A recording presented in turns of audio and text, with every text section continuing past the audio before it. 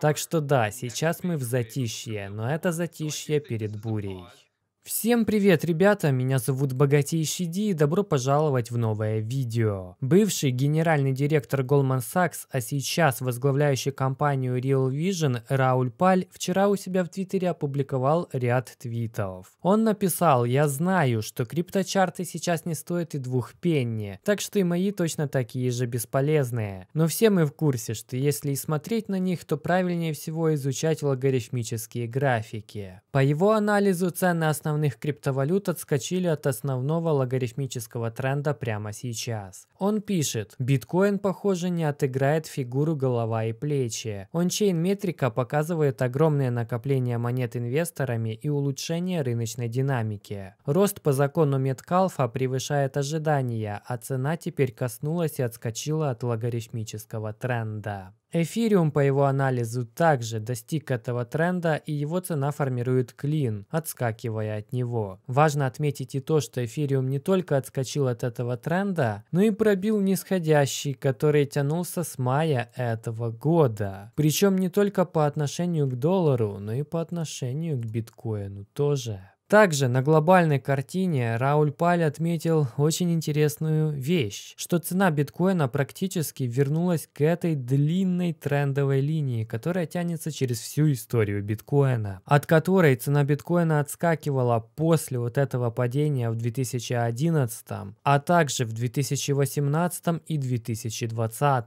Весь 2020 она и вовсе служила самой главной линией поддержки. Теперь цена биткоина опять опять вернулась к этой линии. Опять же все это на логарифмическом графике. Сам Рауль Паль комментирует это так. Глядя на это, я не могу быть по медвежьи настроенным в долгосрочной перспективе. Итак, Рауль Паль настроен позитивно. Его прогноз для цены биткоина 200 тысяч долларов за монету спустя 12 месяцев. Но прежде чем мы перейдем к этому видео, в котором он объясняет свою точку зрения с канала Only the Savvy, я хочу показать тебе еще одну позитивную точку зрения. Мы не раз говорили о том, что падение крипторынка в том числе было не раз продиктовано крипторегулятивными разными сомнениями и страхами. Инвесторы не уверены, что будет завтра, какие регулятивные законы в той или иной стране будут приняты насчет криптовалюты. Но также мы уточняли, что когда регулятивный шок пройдет и останутся монеты, подходящие новым регулятивным правилам, рынок будет расти и дальше.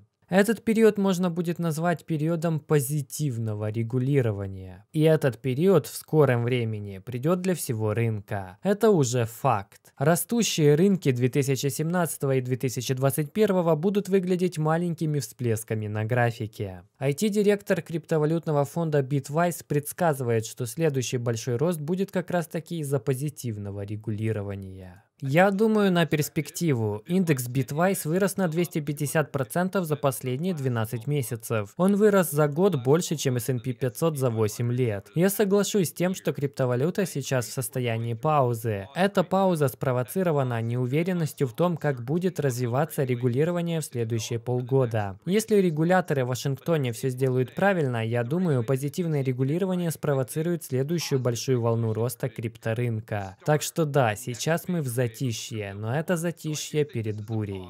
А теперь, наконец, давай послушаем Рауля Паля и почему он думает, что биткоин достигнет 200 тысяч долларов за 12 месяцев. По-моему, сейчас уже очевидно всем, криптовалюта предлагает большое решение. Люди длительное время это не понимали, но сейчас близится момент, когда все поймут, о мой бог, это же решает все проблемы. В долговом обществе все друг другу должны деньги, и когда что-то пойдет не так, вы не поймете, кто и кому сколько должен. Это случилось с Lehman Brothers, и они рухнули, и со многими другими, кто запутался в цепочке из долгов. Блокчейн решает это. В блокчейне ты моментально моментально узнаешь, кому и что принадлежит. Также он решает и множество других финансовых проблем, например, право собственности. С этим тоже есть проблемы в существующей финансовой системе. Если кто-то объявит дефолт, почти все выходит из строя. А блокчейн решает эту проблему, проблему права собственности. Биткоин имеет две особенности. Одна – это средство сбережения. Он как золото, потому что дефицитен. Он даже как предмет искусства или недвижимость. Но у него есть еще еще кое-что. Он может видоизменяться в будущем. Для чего он еще сможет быть использован? Что еще может сделать эта технология? Это называется сетевым эффектом, и это вторая особенность биткоина. Так что, если биткоин это средство сбережения, то при беспрецедентном печатании денег, как и недвижимость, как и золото, биткоин будет расти в цене. Но будет расти куда больше, потому что имеет сетевой эффект и потенциально может стать частью будущей финансовой системы.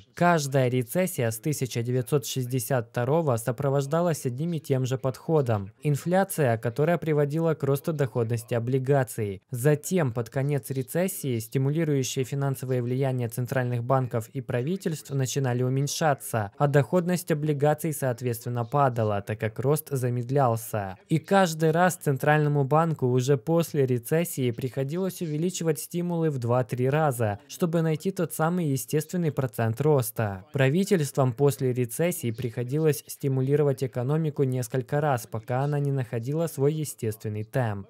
В большинстве таких случаев сделки по облигациям падали до исторических низов. И если мы повторим это сегодня, мы можем увидеть падение доходности десятилетних облигаций до нуля. Я не знаю, случится ли это на этот раз. Но если они сейчас уменьшат стимулирующее финансовое вливание, то мы увидим массивный прыжок цен на жилье, стоимость еды и топлива, а также нарушение цепочек поставок. Реальные заработные платы не растут, фактически они даже обесцениваются, а цены растут. Ипотечные проценты также растут. Обычно само по себе это уже замедляет темпы экономики, потому что зарплаты не растут. А затем им придется уменьшать стимулирующие чеки, как в прошлые разы, мы уже говорили об этом. Все сейчас такие, о, будет бесконечная инфляция, вечный рост. Каждую рецессию, что я видел, было так же. И каждый раз рост наоборот замедлялся. Мы даже можем увидеть взрыв какого-то развивающегося рынка. Например, 2008 закончился взрывом европейского рынка. После рецессии 2001 это были рынки Бразилии и Аргентины. Так обычно это происходит, и на этот раз будет так же.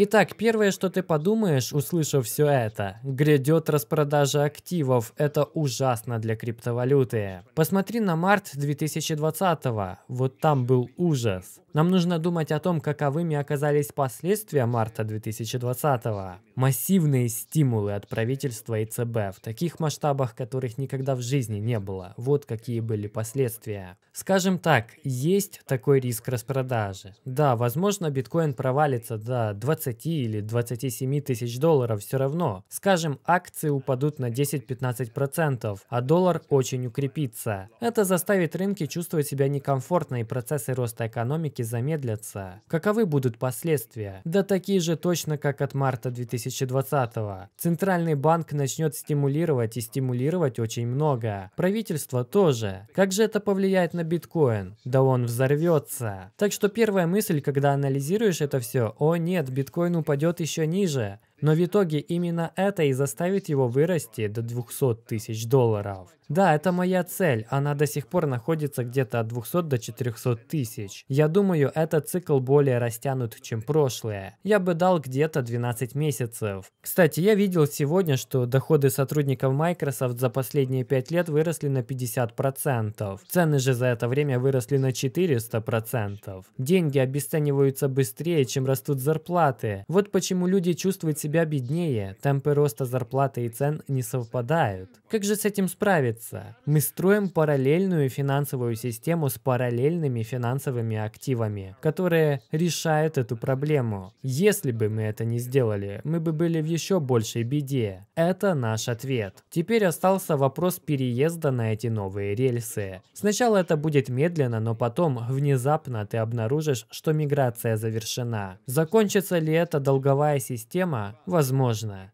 Но придется ли для этого использовать совершенно другую валютную систему? Потенциально да. Ребята, очевидно же, о какой другой валютной системе он говорит. Цифровая экономика и цифровые активы – это наше будущее. Биткоин – это наше будущее. И я сейчас говорю не конкретно про монету биткоина, а про то, что сам биткоин олицетворяет. На этом все, ребята. Меня зовут Богатейший Ди. На этом все, ребята. Меня зовут Богатейший Ди. Подписывайся на канал, телеграм, ссылка на который в описании. Делись видео с друзьями, комментируй и обязательно богатей. До скорого.